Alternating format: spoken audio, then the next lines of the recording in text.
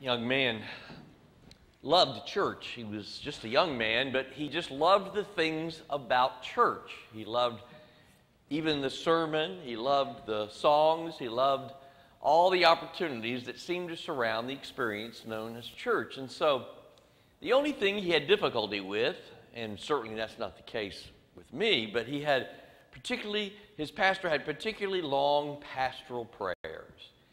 And he said he would just, just lose his mind thinking about all the other things while his pastor was praying.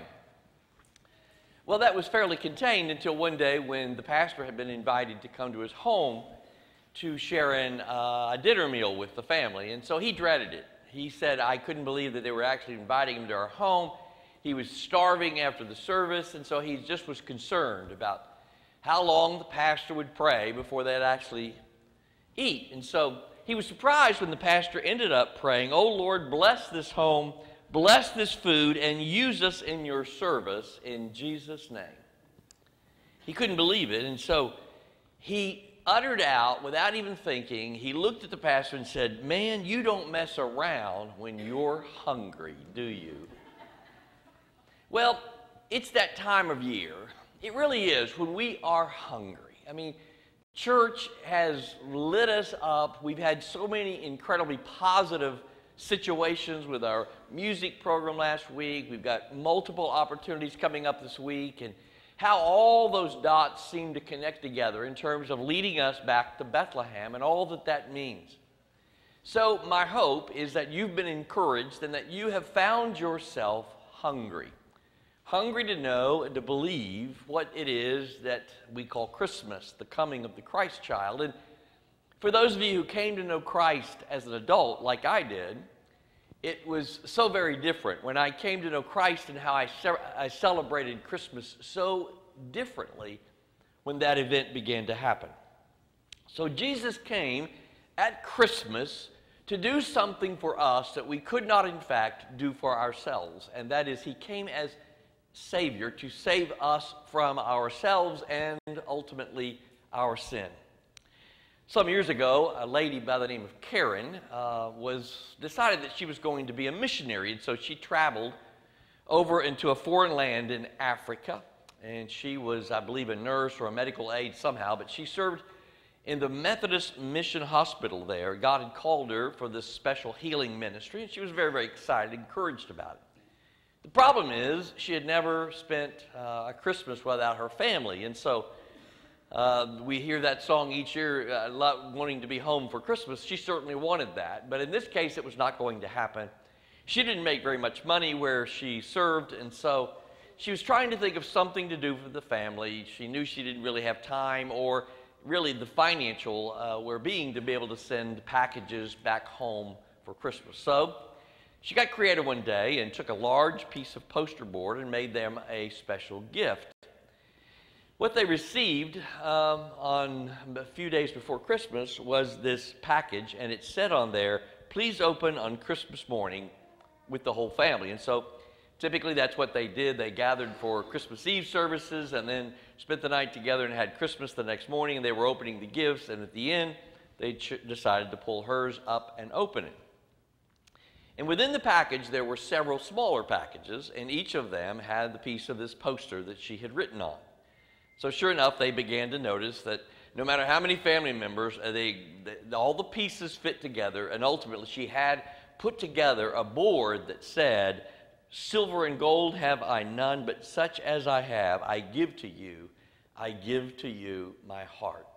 Christmas is that time of year where we do find solace and encouragement when we find out that we can give our heart to Christ. And in so doing, not only do we learn to love God, but we learn to love others in an unusual way. And that's the Christmas story. You've got it in your folder today, and it is from the new, uh, it's from the message version. And my wife said you, you read it much too quickly in the early service. So if I go down to slower pace in this service, no, I'm not going to do that bad. But nevertheless, she says, make sure, you know, it's very familiar to you. So it is familiar, and it's familiar to most of us, but it's a new translation. It's a little different. About that time, Caesar Augustus ordered a census to be taken through the empire. This was the first census when Quirinius was governor of Syria, and everyone had to travel to his own ancestral hometown to be accounted for. So Joseph went from the Galilean city of Nazareth up to Bethlehem in Judah, David's town, for the census. And as a descendant of David, he had to go there. He went with Mary, his fiancee, who was pregnant. And while they were there, the time came for her to give birth, and she gave birth to a son, her firstborn, wrapped him in a blanket, laid him in a manger because there was no room in the hostel. And there were sheep, herders camping in the neighborhood. They had set night watches over their sheep. And suddenly the God's angel stood among them, and God's glory blazed around them, and they were terrified. The angel said, Do not be afraid. I'm here to announce a great and joyful event that is meant for everybody worldwide. A Savior has been born in, da- in David's town, a Savior who is Messiah and Master. So, we're going to talk about that one punchline there that, oh, every two or three years, we have to settle in on that if you think about the meaning of Christmas. And it is that ultimately Christmas is about room. It is about making room for the coming of the Christ child. If you were here for our musical production last week, you saw a very moving video about that whole event. And like I often say at Christmas, you either have to believe it that it is this crazy true story or it's just a mere fairy tale because it's either one or the other. And for me, obviously, I'm basing my life on the fact that it is absolutely true. So, if you want to follow along in your folder, uh, if we want to make room for Christ, He will save us from our disillusionment.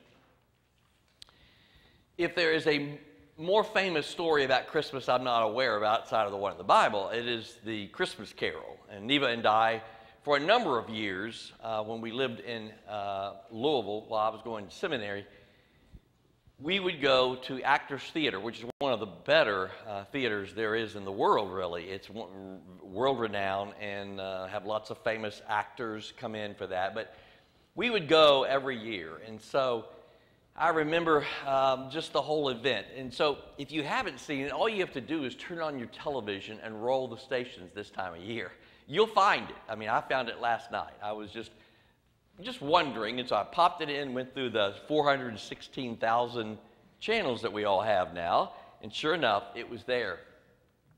But it's a classic story. If you have not uh, seen it or familiar with it, it's Charles Dickens' novel, and he has this character by the name of Ebenezer Scrooge. Now, I've seen lots of pictures of Ebenezer, but I've never seen one quite like this one. Is that a good picture or what? I mean, that's a classic picture of the bah humbug guy that he was. That was his phrase. And if you ever hear that phrase, you're basically saying disillusioned person. Bah humbug. I don't believe all that stuff. But you know the story. Tiny Tim Cratchit was a little boy who um, was uh, crippled, and so his dad worked for Ebenezer. And so uh, the phrase that would often come out of the Cratchit family, in particular Tiny Tim, the phrase that would often come out was, God bless us everyone. You would hear that over and over again. But Scrooge needed something in his life. He needed a conversion of sorts. He was a selfish, arrogant, greedy, hard hearted, mean spirited, uncaring, unsympathetic, unchristian tightwad. And that's the best I could say about him. he was not a good person. And if you see that, you see him encounter two things. Two things turned him around. First of all, he got scared to death by three ghosts who visited him. Past, present, and future ghosts visited him. And if that won't set you straight, not much will.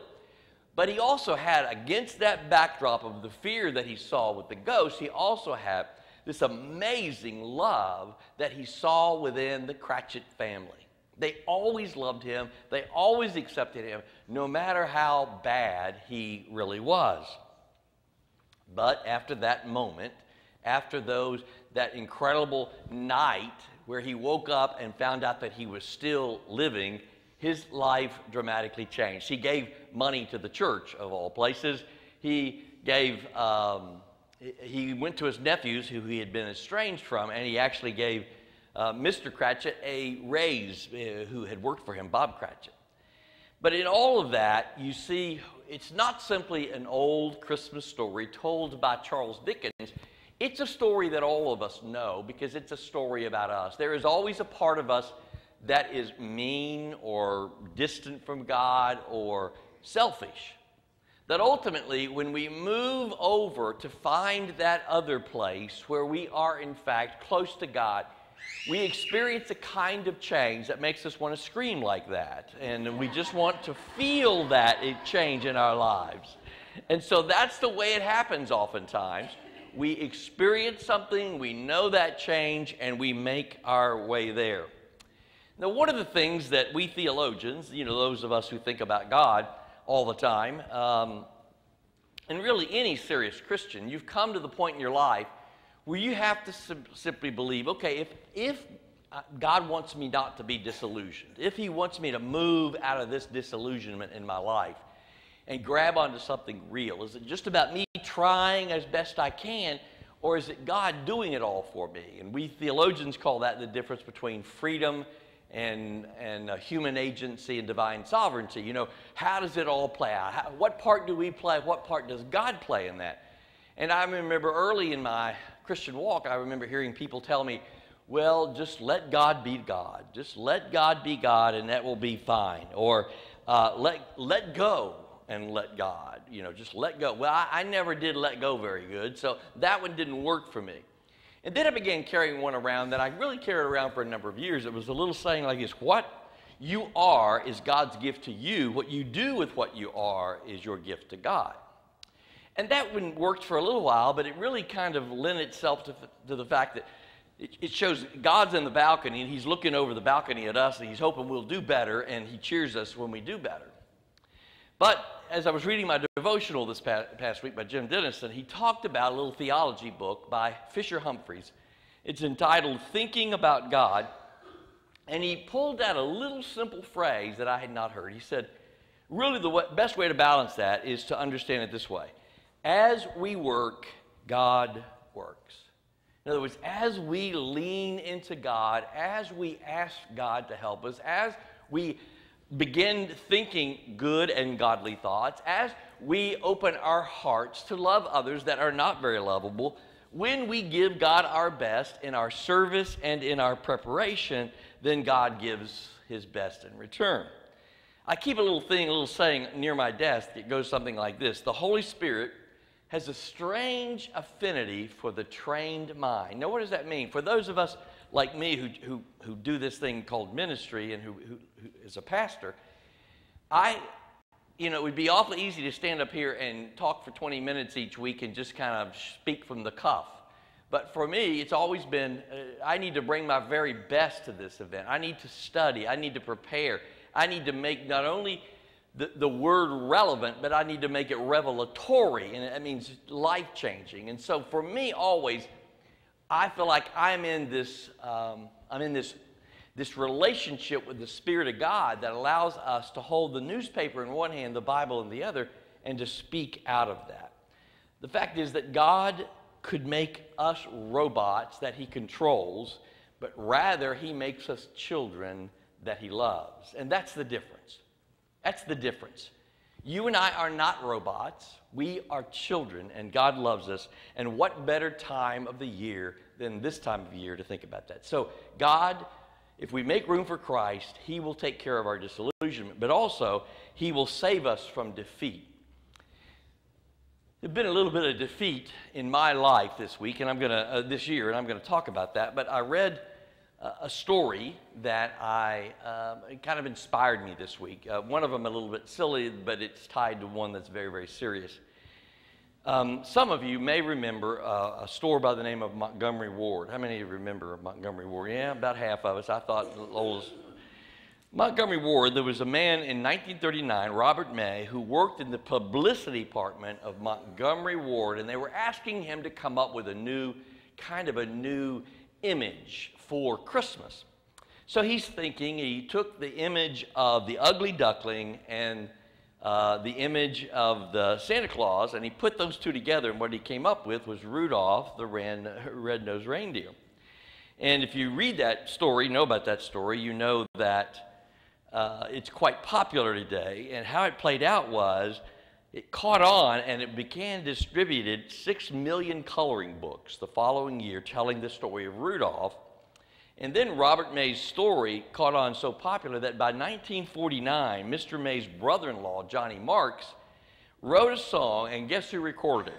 Gene Autry. Some of, that, of you will know that name. He recorded it, and of course, the rest is history. Now, that's not simply a little cute, child friendly story, it is a story that inspires us because it tells us about someone, even an animal, rising from defeat, turning a handicap into an advantage. And that got me thinking about another Rudolph of sorts. In the summer of 1960, Wilma Rudolph was the greatest, one of the greatest female athletes of all time. A long legged young lady from Clarksville, Tennessee, won not one, but three gold medals at the 1960 Olympics. Now, what is amazing about her um, is the fact that for the first third of her life, her leg, left leg, was paralyzed. So, what happened? Well, she began to believe what her mother said rather than what her doctor said. And there's a quote from her life that is very, very powerful. My doctor told me I would never walk again. My mother told me I would, and I believed my mother. And what they did as a family was they wrapped their arms around this little girl, and for a number of years, five years to be exact, four times every day, family members rotated, massaging her and making sure by praying for her that she was going to be able to do the best that she could. And by the time she was nine years old, Wilma's mother looked out one day and saw her playing basketball with all those other kids out there, and in this case, she was even barefooted. So she went on to become the fastest woman in the world. Now, that made me think of a verse of scripture that we often use. Matter of fact, one of the pro basketball players has it written on his shoes I can do all things through Christ who strengthens me. Now, I've always needed to help people with that because you have to have context. When's the last time you saw a five foot five young person say, I'm going to be an all star NBA basketball player and dunk the ball like crazy? Why? Because I can do all things through Christ who strengthens me. I, am sorry, that's not going likely to work. Uh, we, we, can, I, I, give you a number there. I want to get that new promotion with the corner office. I can do all things through Christ who strengthens me. How about you get uh, ripped in the gym? I can do all things through Christ who, well, let's don't even go there. How about the girl that you're trying to win over and accept her, her invitation to go out? I can do, you know where I'm going because we need context to this, and this is where I would talk about my own sense of frustration and, and little defeat, feeling of, of, of defeat this year. Because the context of that passage of Scripture is this you go two verses before it. By the way, whenever you read scripture and you have one verse that leaps off the page, always go back and always go forward to make sure you can make sense of it. It says in uh, two verses before, I am not saying this because I am in need, for I have learned to be content, whatever the circumstances. I know what it is to be in need, and I know what it is to have plenty. I've learned the secret of being content in any and every situation, whether well fed or hungry, whether living in plenty or want, I can do all, I can do all this. That's the actual best translation through him who gives me strength. In other words, I've learned whatever. And I will tell you, in, in, the difficulty of our year, you know, we began this year behind on our budget, never have caught up. So, what we're going to do is we're going to adjust our budget. We will learn to live with a little less this year and next year as we make our budget. We had difficulty in other ways here, many of you are aware of. Well, we, we, we're going to dig in and, and, and keep loving each other and making our way through this. That's what we do. I can do all things through Christ who strengthens me because I've learned to bring balance and hope no matter what the set of circumstances are. Thirdly, and best of all, he saves us from death. This past week, I, I, I almost, it seems almost weekly, I probably do 30 uh, funerals a year. I stood at the graveside with a family, and when I asked them about the family, I, I get called because I do good funerals, I guess, in that I get to know the family and I engage them. And so I get called pretty often. And in this case, I sat down with the family and I asked them about lots of questions about them. But when I asked them about her faith, they said, Well, she is a Baptist. Now, do you think that's the answer I wanted to hear?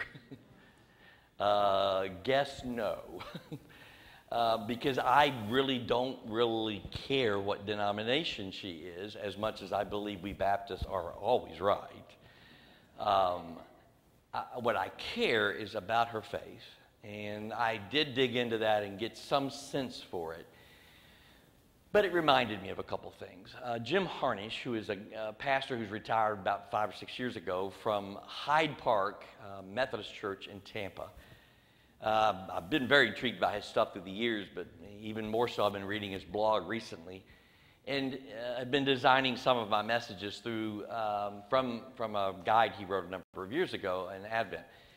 What I, what I discovered uh, about him was that he knew somebody that I kind of like what I do.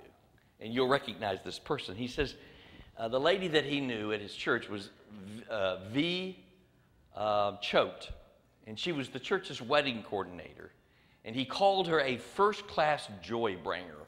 He said she did everything with military precision he said as wedding coordinator he would, she would get the bridesmaids to stand up straight and the groomsmen to spit out their gum and the wedding photographer to obey the church rules and as he talked about her story you know where i'm going if you know our church well and that is that we uh, suffered i suffered one of the toughest uh, losses uh, that I've, I've suffered since i've been here and that is uh, the loss of a lady that i'm uh, dearly love, Ruby Lindner. She passed on September the 16th. She was, in fact, our wedding coordinator. And having had a fairly tough year, I will tell you that I have probably missed her more this year uh, than I ever expected to. I, I, have missed her encouragement to my life in a number of ways. But Jim Harnish talks about um, talking to her husband who had experienced this. On December the 10th, 2001, she had a car accident and passed. And Jim asked her uh, husband to write an entry into their Advent and uh, Advent book for the year. And these were some of the things that he wrote I found very, very powerful. On December the 10th, 2001, the greatest joy of my life was snuffed out. Do what we've always been done is what she, I've decided to do. I've decided to go to church, to sing in the Messiah, to attend Bible studies, stay close to friends, and not forget to decorate the house with at least two trees. And by doing what I believe V and God wanted me to do, I found out I could still sing Joy to the World and be thrilled by the Hallelujah chorus. He concluded by saying, The nights are still lonely and some days are longer than others, but God is with me and I have been able to find joy. I felt very much like that this past year. Jim Harnish, when she, he did her funeral, he said these words. Some of us might be tempted to say what Christmas will be almost that Christmas will be almost unbearable because of V's death. But the deeper truth is that V's death would be almost unbearable were it not for Christmas. And I would say the same about Ruby Linder's death for me. When I stood to do her funeral uh, months ago now, I went back to the notes this week and I found out where I talked about her redemptive resolve. She had a resolve. She had lost her husband early, many, many years. She had experienced significant pain in her life. But I will tell you, I've never known a more level, steady, joyful person in my life. And uh, certainly, she, God gives me, in every church I've ever served, a few people who walk alongside me, who love me, but who also prompt me in just the right balance. And she certainly was able to do that. So, where are you with your disillusionment? Where are you with the sense of defeat that you have maybe felt this past, this past year? And where are you with how you stand with death? Because I will tell you, it is not a good place to stand with a family when they have any level of uncertainty about their loved ones. To hear the cries and the shrieks of anguish at a time when the uncertainty about where their loved one is, well, it's just about beyond what you could stand. But on the other hand, when you've known people like Ruby and V, well, you know that heaven rejoices and that you know there's a place for the Hallelujah chorus to be sung because Christ has defeated death for you and me. I pulled out one of the best quotes from the Christmas Carol, and I want to end with it. Ebenezer Scrooge, after his incredible conversion, says, I will honor Christmas in my heart and try to keep it all the year. I will live in the past, the present, and the future. And the spirits of all three shall strive within me, and I shall not shut out the lessons that they teach. I will honor Christmas in my heart. Not a Christmas on the calendar, not a denomination that I belong to. I will honor Christ in my life. He will love me, and because He loves me, He will cause me to love others. Thanks be to God. Let's pray together.